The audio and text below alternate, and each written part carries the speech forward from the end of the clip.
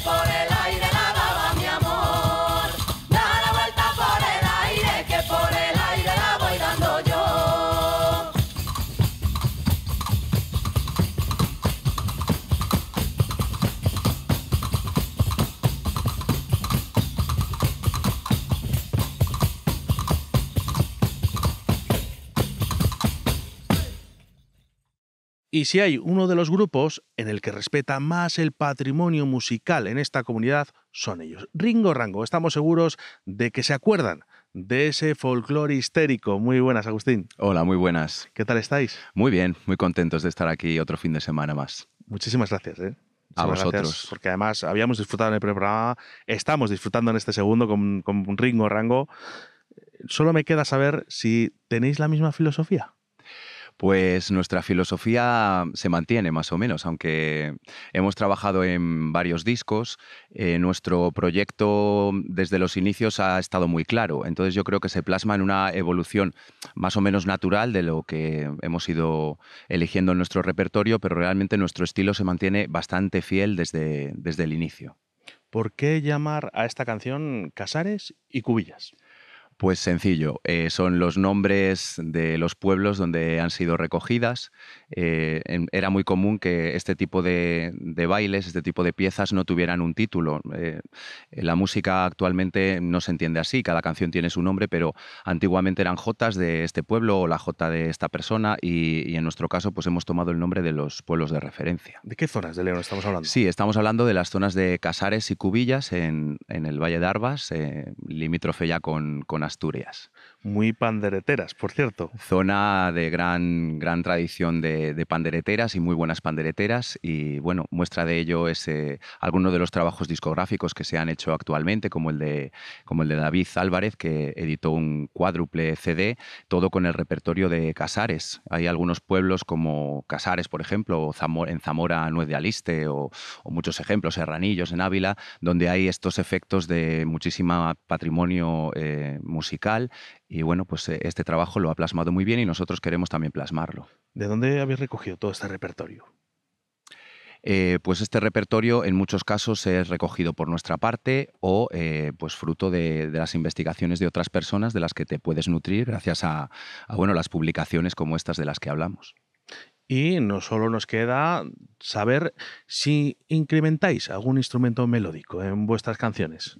Eh, pues sí, de hecho aquí a mi derecha tenemos una gaita, eh, no es el único, tenemos también un rabel y en trabajos anteriores eh, hemos tocado la flauta y el tamboril, que son instrumentos pues, que están presentes en casi toda la península ibérica. ¿Veis que se sorprende la gente cuando estáis en los conciertos y ve esta gaita? Sí, un poco, sí. Porque sí que verdad. es verdad que es muy habitual verla en Galicia, por supuesto, ¿no? Pero en Castilla también. Sí, de hecho, pues en Zamora, en la zona de Sanabria, allí tenemos la gaita y bueno, en la zona de Portugal, tras os montes, también hay por allí una gaita. Bueno, pues en unos minutos volvemos a regresar y disfrutando de este grupo maravilloso llamado Ringo Rango.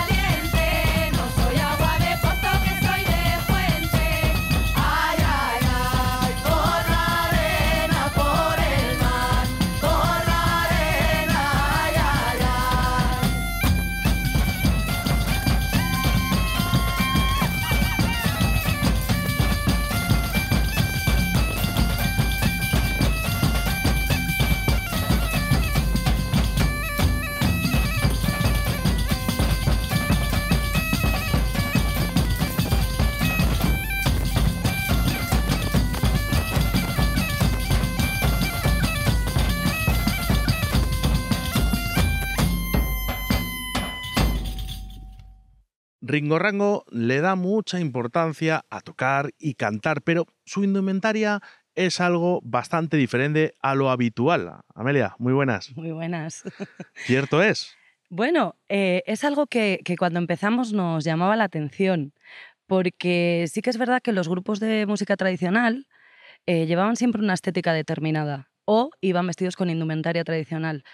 Pero nosotros, bueno, pues en estas fiestas que, que habló en el otro programa Mayra, en estas diversiones, en estos ensayos, eh, comentábamos y hablábamos, filosofiábamos sobre si la evolución lógica no sería si esas personas que ahora consideramos, cuando hablamos de folclore, eh, vemos a gente mayor haciendo folclore, pero esas personas eran jóvenes, esas personas se vestían eh, con sus mejores galas para cantar, para ir a la fiesta, ¿por qué nosotros no íbamos a hacer lo mismo en el siglo XXI, que es donde vivimos? ¿Y por qué no íbamos a vestir con nuestros propios estilos, con nuestra propia manera de vestir, para ir a hacer nuestros conciertos y para ir a divertirnos con nuestros amigos? y a, cantar. Sí, porque lo más importante es seguir la tradición. Eso está claro, ¿no? La indumentaria, bueno, es una cosa que, puede llevar a cabo también. Y, es algo que nos encanta, la, la, indumentaria tradicional. Pero el concepto que nosotros buscábamos era, era otro. Era transmitir la naturalidad, eh, la importancia de los instrumentos, la voz como principal protagonista. Pues fíjate, yo a mí una de las cosas que más me ha gustado es ver a un grupo de jóvenes tan alegres como vosotros. Gracias. Pero eh, sí que quiero saber, eh, ¿dónde os habéis formado? ¿Habéis ido a través de escuelas, asociaciones? ¿Dónde os habéis formado? Como bien dijiste en el anterior programa, pues cada uno venimos de un, de un sitio, de un lugar geográfico, y cada uno también hemos aportado a Ringo Rango un, bagaje anterior, eh, unas vivencias, y tenemos mucho que agradecer a esos grupos en los que hemos aprendido, hemos vivido y hemos empezado a amar el folclore, como pueden ser pues Bajo Duero, Don Sancho, las escuelas de folclore de Zamora, Fole Feroz, eh, Asamber y Federico Lozano de Salamanca. Todos ellos nos han aportado un poquito y de ese poquito hemos hecho que creciera y lo hemos volcado en Ringo Rango y ahí seguimos sumando. Os acordáis absolutamente de todos, por lo que veo.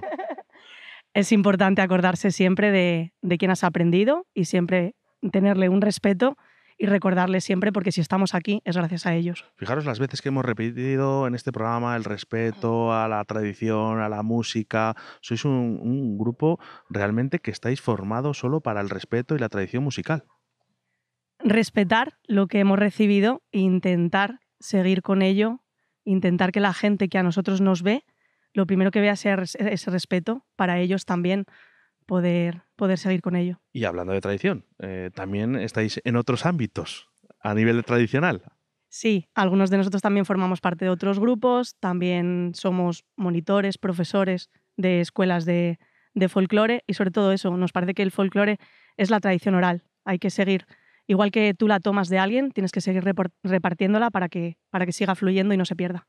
Pues vamos a seguir disfrutando de este grupo llamado Ringo Rango en los estudios El Lana en Dueñas. Nos preparamos y en unos minutos volvemos con todos los espectadores de Con la Música a todas partes.